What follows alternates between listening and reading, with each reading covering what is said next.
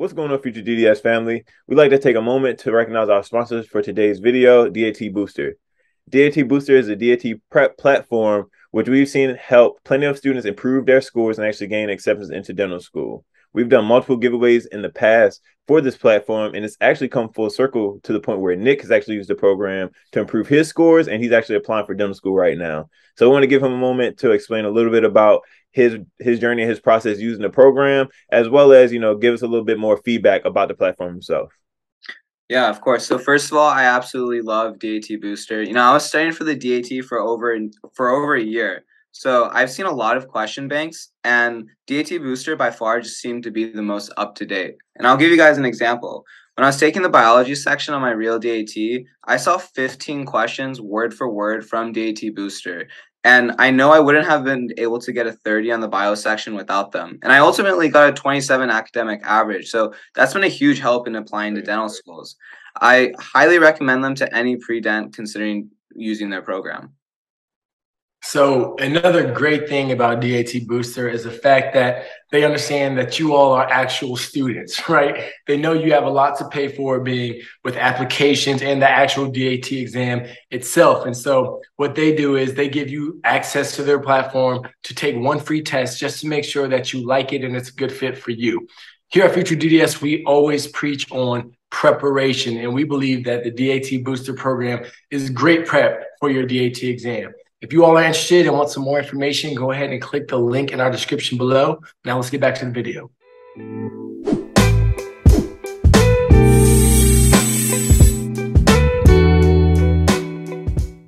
Hi everyone, my name is Nellie Manoukian. I am originally from Los Angeles, California. I am Armenian and I did my undergrad in Cal State University, Northridge. I majored in biology and I was part of the pre-dental club there, um, which I thought was very, very helpful. Um, I also worked at a dental office while I was attending undergrad, and that went on for five years, I believe. Um, yeah, I started right out of high school. I worked at a dental office, um, and it was great. I did um, everything from front office work to chairside um, and I got a lot of experience through that. A fun fact about me is that I love to dance and I actually did 12 years of ballet um, that went on from elementary school, middle school, high school, and um, part of undergrad as well.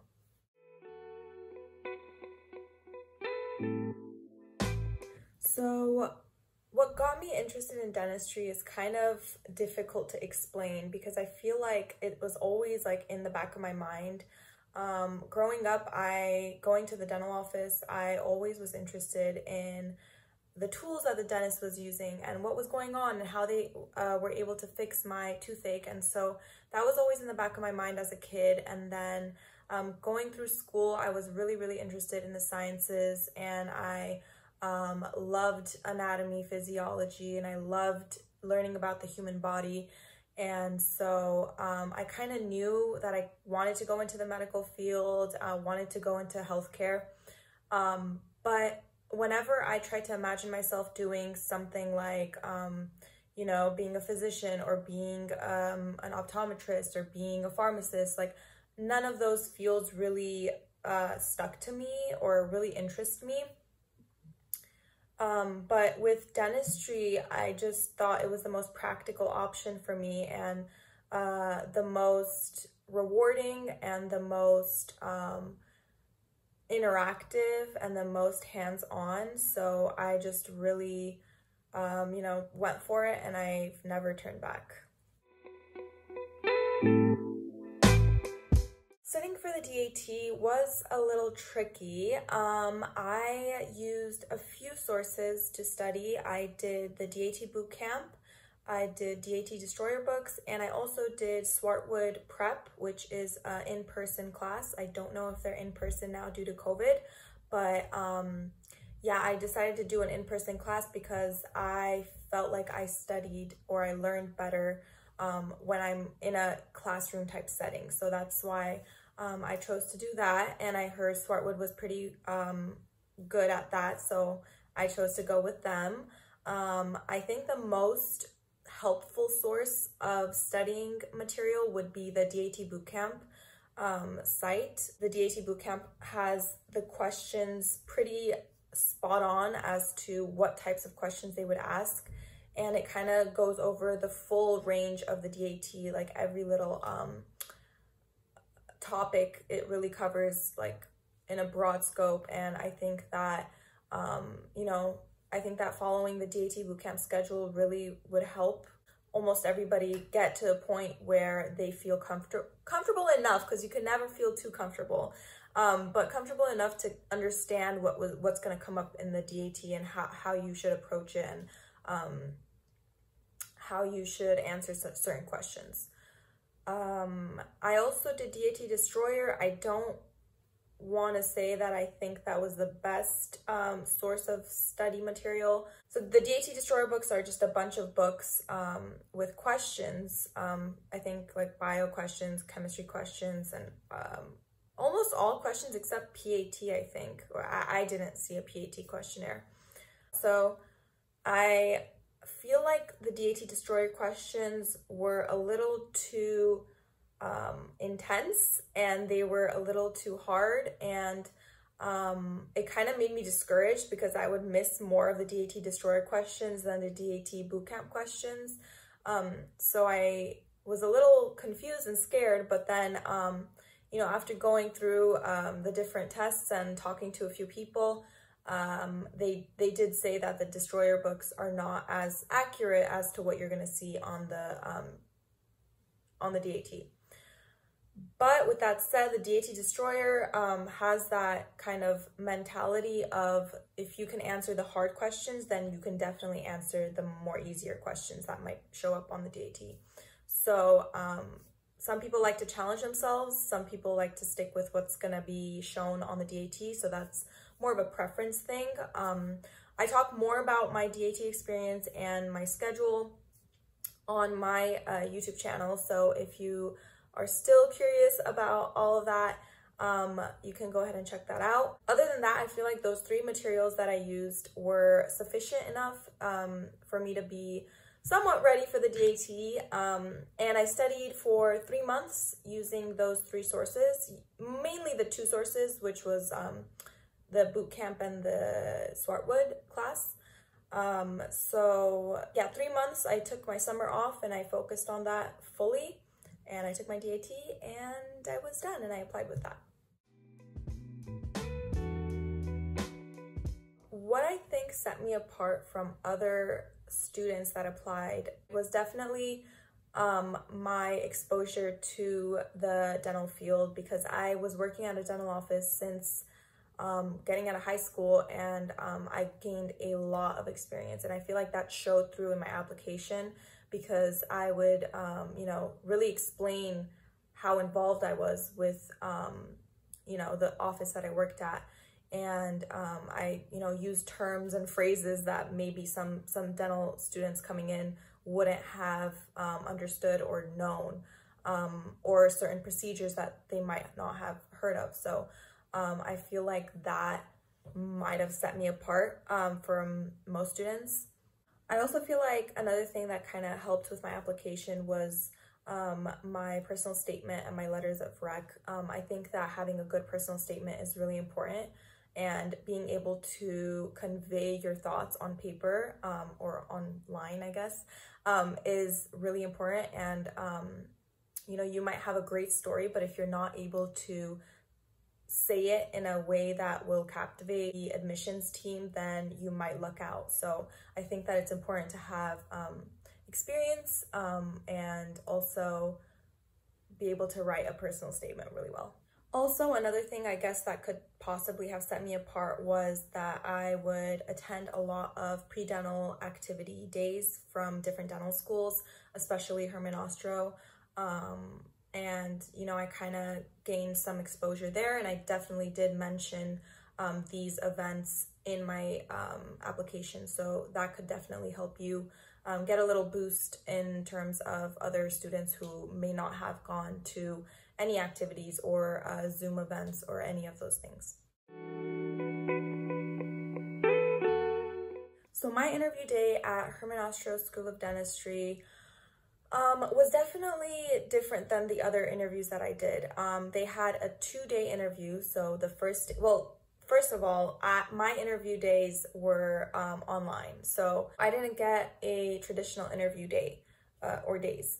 So um, my interview day, the first day was the um, mini, what was it called? I think it's called the mini, uh, oh God, I have to look it up now.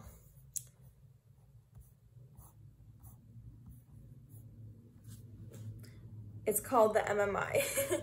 it was called the MMI, so the mini multiple interviews. And um, surprisingly, that we didn't actually speak to anybody um, during that process. It was more of an application that um, you logged on to and you got like a username and you logged on.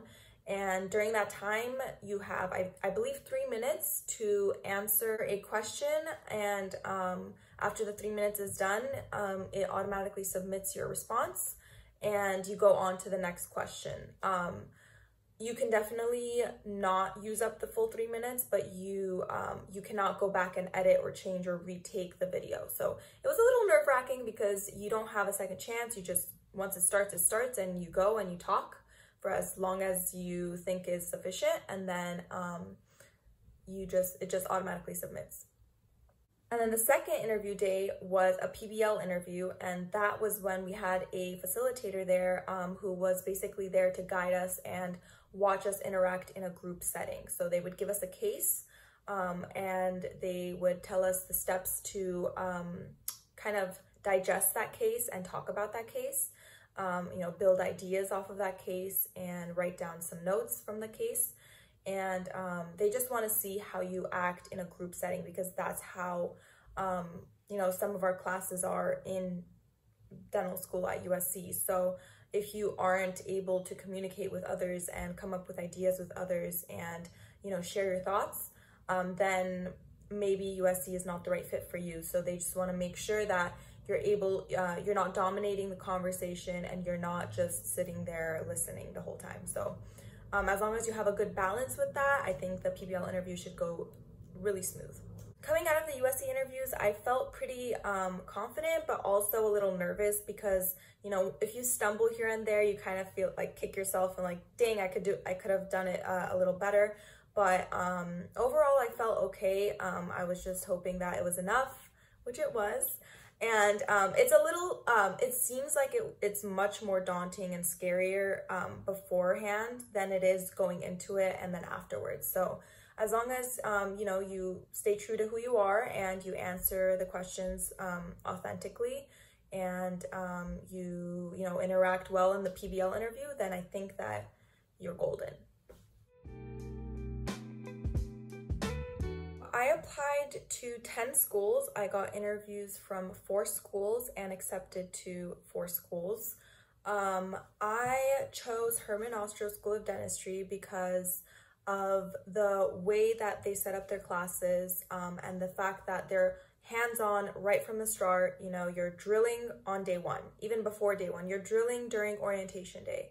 So um, it's really um, straight to the point and I, I love that you know? Um, reading books you could read all the books that you want but not but if you're not good with your hands and if you don't develop hand skills early on it's going to be difficult later on when you're actually in somebody's you know mouth and you're trying to um, do whatever the procedure it is that you're trying to do. So I really really really loved that USC is very hands-on and um, I think that the PBL style is very unique to Herman Ostrow School of Dentistry. And I think that it's something that's going to be adapted into dental schools um, in the future. Um, I know that the PBL style of uh, studying a case is something that is going to be helpful for boards because the boards have PBL style um, questions and um, cases. I also loved Herman Ostrow's community. I think everyone is so closely knit together and everyone's super helpful and no one's trying to one up another person. Everyone's, you know, trying to help each other uh, grow and get better and I love that.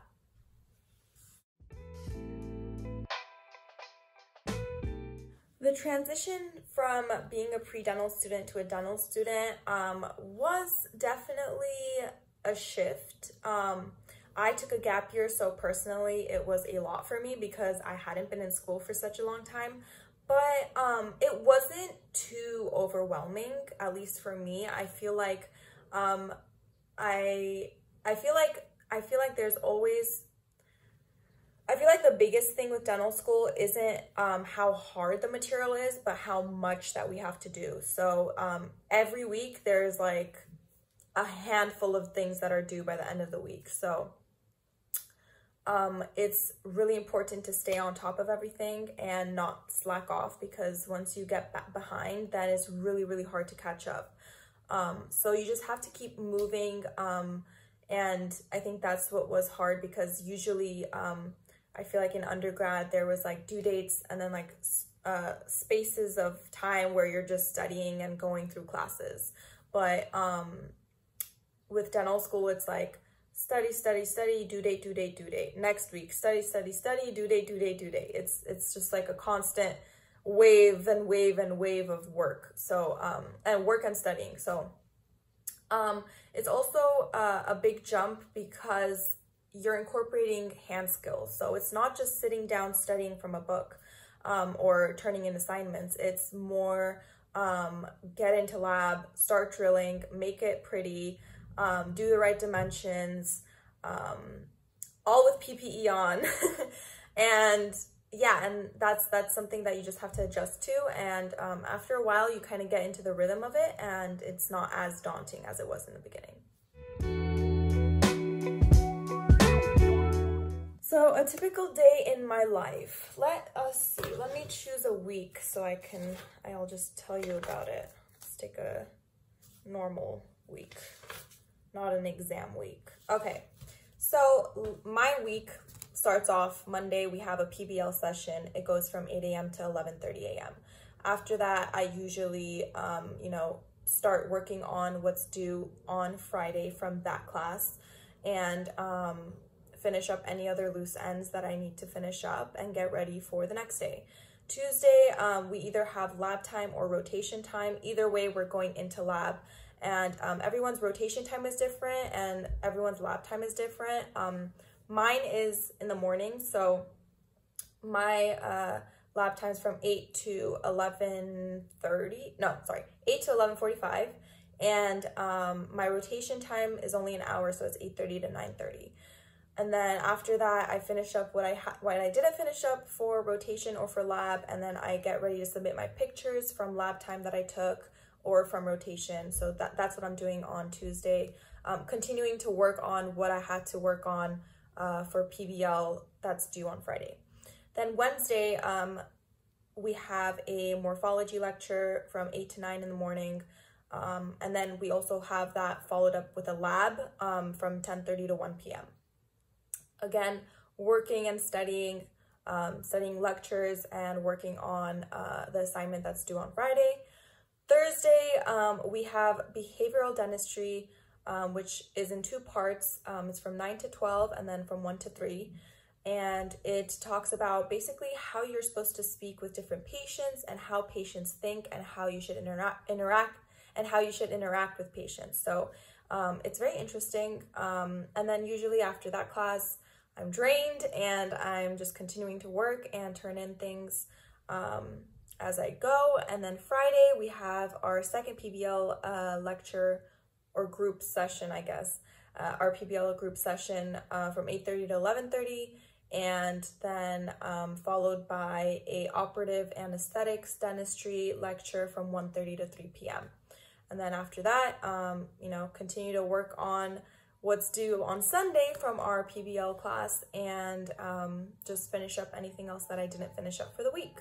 So it's, um, I mean, there's something every day, but I feel like it's less class time um, and more just study and work time.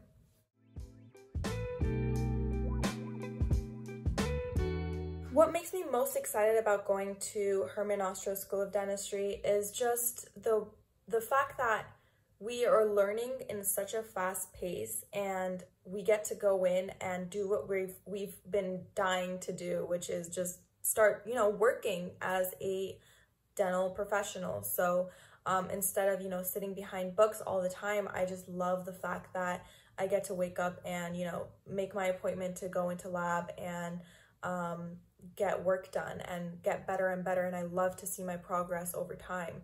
Um, so I think that's the most exciting thing about um, going to my dental school um, and dental school in general um, is just that you get to uh, really see your progress and and and actually work towards what you've been wanting to um, you know become. And it's kind of beautiful. And sometimes honestly it's like I cannot believe I'm in dental school. It's like I'll be I'll be drilling and I'll stop for a second and be like wait I'm actually drilling on a fake tooth in dental school. It's it's such a I don't know it's just a crazy thing to finally realize and finally um, you know see come true so um, I think that's the most exciting thing is just being able to um, being able to do what you love, being able to do what you love.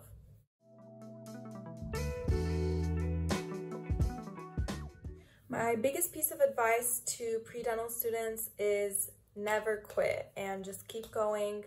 Um, everything will fall into place as long as you keep pushing and you keep trying your best in everything um, things will fall into place. Don't don't get discouraged. And um, you know, I know it is stressful, but you can do it.